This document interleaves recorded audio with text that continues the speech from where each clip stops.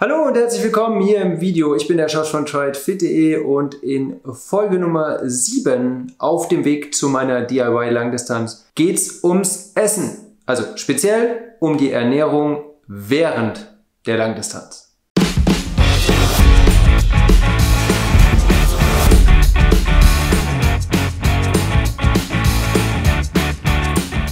Es ist nämlich gar nicht so einfach, die richtige Ernährung zu finden, weil, und da kommen wir später vielleicht noch drauf, es ist ja eine ganz schön lange Zeit, in der man unterwegs ist, um 226 Kilometer zurückzulegen. Also man könnte dir natürlich mit dem Auto fahren, wäre super schön, super schnell. Ich habe es ja ein bisschen anders vor. Es wird äh, hoffentlich schwimmen. Ich weiß noch nicht, wie das mit dem Training momentan so weitergeht. Das Wetter ist wie im Herbst. Hallenbäder haben keine auf und ob Schwimmbäder Ende August noch geöffnet sind, Steht ja auch in den Sternen, aber es sollte schwimmen werden, dann Fahrrad fahren und dann noch ein bisschen laufen. Alles insgesamt 226 Kilometer und natürlich muss ich mir Gedanken machen, wie ich mich auf diesem Weg in dieser Zeit verpflege. Als erstes, weil grundsätzlich ziemlich wichtig bei dem Thema, möchte ich meine allgemeine Ernährung so ein bisschen ansprechen. Ich ernähre mich den Großteil des Jahres eigentlich eher kohlenhydratärmer, also jetzt nicht unbedingt ketogen, also oder vielleicht schon gar nicht ketogen, aber auch nicht unbedingt low carb, aber es ist schon so, dass ich nicht mit äh, Kohlenhydraten quasi um mich werfe. Das heißt, ich versuche immer die moderat zu halten. Ich trainiere auch relativ oft nüchtern. Ich versuche auch harte Einheiten ohne viele oder auch ganz ohne Kohlenhydrate im Vorfeld zu absolvieren. Ich versuche dann natürlich hinterher die zu mir zu nehmen. Mach's teilweise auch auf langen Läufen so, dass ich eben am Anfang nichts zu mir nehme und noch nüchtern bin und dann so nach einer Stunde anfange, mich zu, ver zu verpflegen. Also ich bin nicht ganz so Kohlenhydrat adaptiert und werde deswegen wahrscheinlich auch nicht so extrem viele Kohlenhydrate zu mir nehmen. Es gibt ja da ganz unterschiedliche Vorgaben oder Empfehlungen. Das ist natürlich auch immer davon abhängig, wie ambitioniert man ist Natürlich, wenn man schneller unterwegs ist, der Puls höher ist, dann sind natürlich Kohlenhydrate umso wichtiger. Ich werde wahrscheinlich keine Bestzeit, naja, es wird die Bestzeit über die Langdistanz werden, weil es meine erste ist. Aber ich werde jetzt nicht versuchen, irgendwie eine extreme Zeit äh, aufs Parkett zu legen. Von daher werde ich mich wahrscheinlich eher im moderaten Pulsbereich befinden oder bewegen und werde deswegen auch nicht extrem viele Kohlenhydrate brauchen. Also es gibt ja da schon die Maximalempfehlung, von der ich gelesen habe, sind tatsächlich irgendwie 100, 110 Gramm die Stunde, was extrem viel ist und was man halt auch erst aushalten muss. Also das muss der Magen erst auch mal quasi verdauen oder akzeptieren. Da komme ich auch später nochmal drauf. Es gibt dann so, das kennt vielleicht der ein oder andere Langdistanzathlet, das sollten vielleicht so 90 Gramm sein. Viele schaffen 60 Gramm in der Stunde. Ich habe für mich jetzt mal so ein bisschen durchgerechnet, da komme ich auch gleich noch drauf, äh, dass es ein bisschen weniger sogar sein werden. Das hat unterschiedliche Gründe. Das eine ist, mein Körper ist jetzt nicht so dran gewöhnt und ich werde es jetzt auch in fünf Wochen oder in sechs Wochen nicht, nicht mehr schaffen. Will das auch gar nicht. Ich bin ganz froh, wenn mein Fettstoffwechsel super gut funktioniert. Zum anderen, das ist der zweite Punkt, habe ich auch so ein bisschen Kapazitätsproblem, weil ich ja keinen Wettkampf mache. Das heißt, ich habe keine Versorgungsstationen. Ich kann jetzt nicht mir eine extrem volle Gelflasche mitnehmen und dann immer mit Wasser das quasi verdünnen, dass ich an irgendwelchen Versorgungsstationen bekomme. Der dritte quasi begrenzende Faktor ist so ein bisschen, dass ich schon im Vorfeld, also ich äh, teste jetzt im Training relativ viel, da komme ich auch gleich noch drauf. Ich habe gemerkt, dass so ganz krass kohlenhydratreiche Sachen, also dann auch süß, vom, vom Geschmack her süß und, und eben voll mit, mit Carbs, dass ich die auf die Dauer auch nicht gut vertrage. Also ich merke da schon nach zwei, drei Stunden, dass es einfach, es schmeckt mir nicht mehr, es, es kommt nicht gut an und ich glaube, wenn ich halt so erschöpft bin nach so einer langen Zeit, dann wird es nur noch schlimmer werden und ich es dann vielleicht halt auch nicht vertragen. Daher ist meine Überlegung aktuell nicht, nicht nur auf Gels zu setzen oder auf so, so süße äh, kohlenhydratreiche Ernährung, sondern eben auch auf, auf Alternativen zu setzen. Eine Sache ist, mich vorher gut zu verpflegen. Da habe ich schon gute Erfahrungen gemacht im Training, was, was ich da nehmen kann.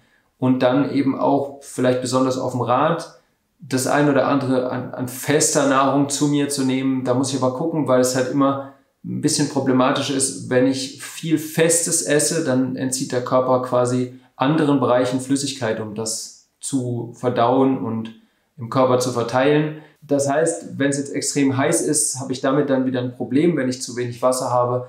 Äh, es ist tatsächlich irgendwie so ein, ein Katastrophenmanagement, so kommt es mir momentan jedenfalls noch vor, oder an welcher an der einen Ecke was dazu tue, dann fehlt es an der anderen. Die Überlegung ist aber, dass ich mir halt irgendwas hochkalorisches, festes mitnehme, weil ich einfach da bessere Kapazitäten habe. Wenn ich zum Beispiel ein Radtrikot bei den Einteiler anziehe, um da einfach mehr Platz zu haben, um Sachen mitzunehmen. Ich habe ja jetzt auch, auch keinen, keinen technischen Support auf der Strecke, wenn ich da alleine unterwegs bin. Das heißt, ich sollte vielleicht auch Flickzeug dabei haben. Dann macht es einfach Sinn, was Festes mitzunehmen und das irgendwo zu verstauen, um dann da noch ein bisschen mehr reinzunehmen, auch wenn mir dann vielleicht auf dem Rad so ein bisschen die Flüssigkeit fehlt.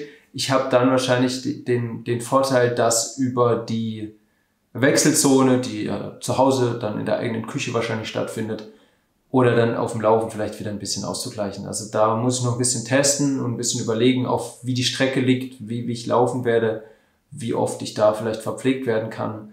Weil dann kann man das, was auf dem Rad vielleicht fehlt, beim Laufen nochmal nachholen. Ich werde da auch wahrscheinlich mit einem Trinkrucksack laufen, der, wo ich vorne zwei Flaschen reintun kann und habe dann da drüber wieder Flüssignahrung und ja, das ist so ein bisschen die, die Vorstellung, die ich gerade habe. Ich habe das einmal so ein bisschen durchgerechnet. Also ich gehe davon aus, dass ich so 40 Gramm Kohlenhydrate in der Stunde vertragen werde. Das ist natürlich niedrig und ich muss auch gucken, ich habe mir jetzt quasi so ein Probier-Set bestellt mit ganz verschiedenen Elektrolytgetränken. Ich habe auch ein, zwei Gels im Blick, die ich vielleicht mit Flüssigkeit verdünne und dann so nehme. Ich kann fünf Flaschen auf dem Rad mitnehmen und dann ist aber echt voll, dann habe ich keinen Platz mehr für nix. Das wären aber, wenn ich dann in jeder Flasche quasi 40 Gramm Kohlenhydrate drin hätte, ob jetzt mit Pulver oder mit verdünntem Gel, ist ja mal egal. Aber wenn ich da 40 Gramm drin habe, dann wären das quasi 40 Gramm für 5 Stunden. Ich gehe nicht davon aus, dass ich die 180 Kilometer in 5 Stunden schaffe. Vielleicht kann ich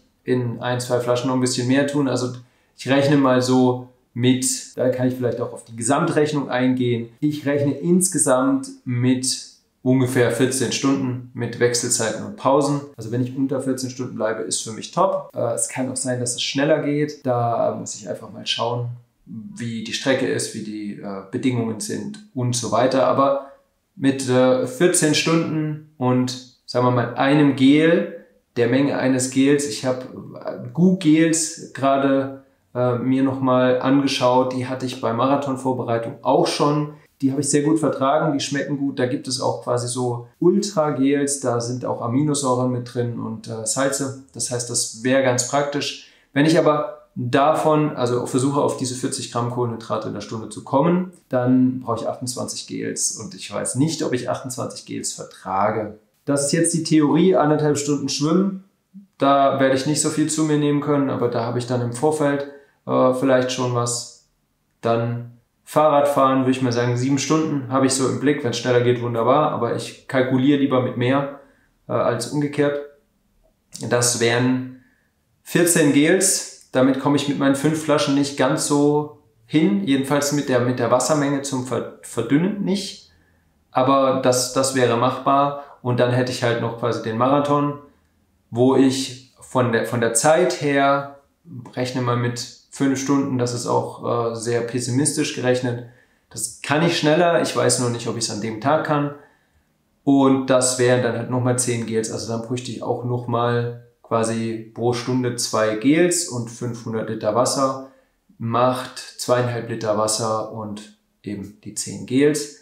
Ich kann ein Liter in der Weste oder in dem Rucksack, den ich, den ich im Blick habe, mitnehmen. Ich will es nicht in der Trinkblase mitnehmen, das, da kann ich nicht mitlaufen, das finde ich sehr unangenehm. Und da kann ich wahrscheinlich auch die Trinkblase hinterher wegwerfen, obwohl das jetzt nicht so das Wilde wäre. Ja, das ist so, so ein bisschen die Rechnung. Das heißt, eineinhalb Stunden schwimmen ohne was, dann sieben Stunden Radfahren mit 14 Gels und fünf Stunden Laufen mit 10 Gels. Äquivalent möchte ich gerade aber vom Laufen das ein bisschen vielleicht ergänzen, damit mir die zwei Flaschen verdünnt reichen. Und da komme ich jetzt eigentlich dann zu den Sachen, die ich jetzt schon getestet habe und die ich eben auch vertragen habe. Ja, also was ich schon versucht habe und wo ich auch so ziemlich genau weiß, dass es äh, gut oder schlecht ist, sind äh, Müsli-Riegel. Also jetzt äh, keine Corny-Müsli-Riegel, sondern es gibt, ich weiß die Marke nicht genau, das sind äh, Müsli-Riegel mit, ah, gibt es mittlerweile von ganz vielen. Müsli-Riegel mit Protein, es sind eher Nussriegel, es sind weniger Haferflocken und so Zeug drin, es sind mehr Nüsse drin, also eher fettlastig mit Protein. Die habe ich probiert, die schmecken mir sehr gut, die bringen auch gut Energie. Ich habe nur gemerkt, wenn ich sie auf dem Fahrrad zu mir nehme, dann äh, erstmal, wenn ich sie gegessen habe, muss ich mit viel Wasser runterspülen, weil es sowieso gut ist für die Verdauung, aber äh, es ist nun mal zusätzlich Aufwand. Die andere Sache ist, dass so ungefähr nach, einer, nach 20 Minuten, nach einer halben Stunde sich diese Riegel wieder melden und dann kratzt im Hals. Also es ist dann immer so das Gefühl, als würde mir da noch so ein Stückchen im Hals stecken und das ist echt unangenehm. Und äh, deswegen habe ich die Riegel dann irgendwann ausgeschlossen, auch wenn sie lecker schmecken und ich die gut vertrage. Das macht halt keinen Sinn. Genervt bin ich dann schon wegen anderen Dingen, dann brauche ich nicht noch irgendwie extra sowas. Dann habe ich lange Zeit vor allen Dingen beim Laufen Milchbärchen probiert von Haribo. Die äh, sind wesentlich günstiger als irgendwelche Energiebärchen von sonst einem Hersteller und die schmecken mir auch ganz gut. Allerdings schmecken sie mir halt nur so bis zum fünften und danach wird es ein bisschen schwer. Ich habe das auf äh, langen Läufen auch gemerkt. Wenn ich mehr davon gegessen habe, dann irgendwann schmecken sie nicht mehr. Sie schmecken mir nicht mehr. Vielleicht verlieren sie auch ihren Geschmack in meinem Rucksack, keine Ahnung. Auf jeden Fall, äh, ja, war dann irgendwann ein Punkt erreicht und das meistens schon so nach zwei Stunden, dass ich da einfach keine Lust mehr drauf hatte. Das heißt, das ist auch keine Option, das den ganzen Tag zu mir zu nehmen. Habe ich rausgestrichen, funktioniert auch nicht. Dann habe ich für unseren großen Gel-Test, den ich vor zwei Jahren mal gemacht habe, unzählige Gels getestet. Bin dann bei Gu hängen geblieben, die waren ziemlich gut. Es gab auch noch so ein paar andere, die geschmacklos waren, also geschmacksneutral, nicht süß. Die fand ich auch ganz gut. Da werde ich, wie gesagt, diese Google sicher auch nochmal testen, weil ich die vom Geschmack her gut vertragen habe. Ich weiß nicht, wie viel ich davon nehmen kann, sicher keine 28. Sicher ähm, auch, ja, die Hälfte wäre mir schon zu viel. Da muss ich auf jeden Fall mal gucken. Dann habe ich auch selber schon gemixt und da habe ich mir auch überlegt, ob ich nicht noch irgendwie was zusätzlich mixe, ob ich da nicht mal gucke, ob ich irgendwas finde. Meine ähm, Versuche sind bis zu Wasser mit Aminosäurenpulver, Honig und Salz gekommen. Das ist eine gute Mischung. Das ist jetzt nicht, äh, sind nicht ganz so viele Kohlenhydrate, dafür ist es aber auch nicht ganz so süß. Ich kann natürlich mehr Honig reintun, aber dann hört es auch schon wieder auf, mir zu schmecken. Von daher, ich habe so ein bisschen in Richtung Banane gedacht, weil ich bei einem letzten Lauf so diese Kinderquetsch-Tütchen probiert habe. Das war irgendwie Banane, Pflaume oder so irgendwas. War die Tüte mit den meisten Kalorien beim DM, die habe ich einfach mal mitgenommen. Fand ich gut, könnte ich vielleicht selber machen, könnte ich dann auch nochmal ergänzen, da muss ich auch nochmal gucken. Es muss halt so klein püriert werden, dass es mir dann in den Mehrwegflaschen nicht im Verschluss stecken bleibt, weil das ist mir einmal schon passiert, jetzt nicht im Wettkampf, aber das ist fatal, wenn dann, dann nichts mehr rauskommt. Selbst gebacken habe ich auch schon Nussriegel. Ich habe mal im Internet so ein Low Carb Nussriegel Rezept gesucht, habe ein bisschen mehr äh, Kohlenhydrate zugefügt. Die sind äh, super, die schmecken gut, die bröseln nicht, die kann ich auch gut mitnehmen. Die sind tatsächlich hart genug geworden für längere Strecken, weil manchmal sind die ja so brüchig, dass, dass man die einfach nicht mitnehmen kann oder man kann gleich die in Bröseln essen. Die, die ich gemacht habe, sind gut. Ich weiß nur nicht, ob sie so gut verträglich sind, ob es schnell ankommt, weil es ist dann doch durch die Fette nicht so schnell zu verdauen. Muss ich mal gucken, das teste ich vielleicht auch nochmal. Da habe ich noch ein paar im Kühlschrank. Gucke ich mal, wie sich das verhält. Zwei Dinge habe ich getestet, die haben auf jeden Fall sehr gut funktioniert. Das wäre zum einen, also das erste sind äh, Schokoriegel. Die habe ich äh, Andi Böcherer zu verdanken. Der postet in seiner Story hin und wieder mal von Schokoriegeln, die er so isst vorm Training und die habe ich mir auch gekauft. Ich fand das super. Das ist eigentlich ähm, Schokolade mit hohem Kakaoanteil, Mandeln und Salz habe ich natürlich dann mir gekauft, probiert, fand ich lecker, fand ich zu teuer. Habe ich dann selber gemacht, einfach äh, Schokolade eingeschmolzen, Mandeln dazu, kann man auch Mandelstückchen dazu tun und dann eben grobkörniges Salz, fand ich extrem gut. Und ich hatte eben einmal einen 20 Kilometer Lauf, da habe ich vorher ein so ein Riegel gegessen. Wir haben so quasi wie so eine Backform für Riegel. Da habe ich einfach die Schokolade reingegossen mit den Zutaten drin und habe es da abkühlen lassen. Dann habe ich vor einem 20 Kilometer Lauf eins, einen gegessen und der Lauf war extrem gut. Also es war vielleicht ein guter Tag auch, aber die Ernährung habe ich echt gut vertragen. Das hat richtig Spaß gemacht. Das wird die Wahl sein morgens fürs Frühstück. Ist nicht so ganz das mit äh, Toastbrot und Marmelade, wie es andere immer propagieren, aber also mir schmeckt super und es kommt einfach auch gut an. Dann der letzte Punkt, das haben wir bei der letzten Radausfahrt äh, festgestellt oder ich für mich. Wir waren unterwegs viel länger als eigentlich gedacht und dann haben wir uns bei einem Bäcker noch schnell Brezeln geholt und die waren richtig gut. Also das hat richtig gut getan. Das war so gegessen und richtig gemerkt, da kommt genau das an, was ich gerade brauche. Das heißt, ich versuche für die Laufstrecke auf jeden Fall irgendein Laugengebäck zu bekommen. Ich weiß noch nicht, wie ich das mache. Brötchen, vielleicht Laugenstange, vielleicht backe ich mir auch selber was. Also Salzstangen werde ich nicht machen, weil die brechen mir ab, bevor ich den Mund habe. Das ist auch viel zu klein und viel zu dünn. Es gibt auch so ein bisschen dickere, weiß ich noch nicht so genau. Muss ich gucken. Das wäre auf jeden Fall eine Option, vertrage ich gut. Bringt ja auch Salz und Energie und äh, schmeckt mir einfach auch. Also das ist, glaube ich, auch so ein Grund. Es schmeckt mir einfach auch. Natürlich habe ich auch über Tuckkekse bei auf der Laufstrecke nachgedacht. Die schmecken auch. Ich weiß nicht, wie sie dann schmecken, aber so grundsätzlich finde ich die auch ganz gut und es ist viel Salz dabei. Ja, das sind so meine Erfahrungsberichte bis jetzt. Das habe ich getestet. Ich habe in Mitteldistanzen auch schon tatsächlich richtig fetthaltiges Zeug gegessen. Ich habe so äh, quasi Landjäger, so getrocknete Wurst mit dabei gehabt. Fand ich auch super gut. Ich weiß jetzt nicht, ob es meiner Leistung geschadet hat. Ich war mit dem Wettkampf ganz zufrieden. Ich kam für meine Verhältnisse ziemlich schnell voran. Kann mich also nicht beschweren. Vielleicht äh, werde ich das auch noch ergänzen, dass ich eben die Kohlenhydrate auf der einen Seite habe und Fette auf der anderen Seite über Nüsse. Studentenfutter es ist da noch eine Option. Wobei man dafür immer stehen bleiben muss, weil ich habe das schon mal versucht, aus der Tüte zu essen beim Laufen und das landet halt überall, wenig im Mund. Vielleicht gucke ich auch mal, dass ich das noch ein bisschen klein kriege und es gibt ja auch so Energiebällchen. Ich weiß noch nicht. Ich habe noch viel vor, Ideen sind genug da. Ich brauche noch ein paar Trainingseinheiten, um das dann auch testen zu können, aber wir werden sehen, wo das doch hinführt. Also wenn ich was Spannendes finde, mache ich auf jeden Fall noch mal eine Folge hier.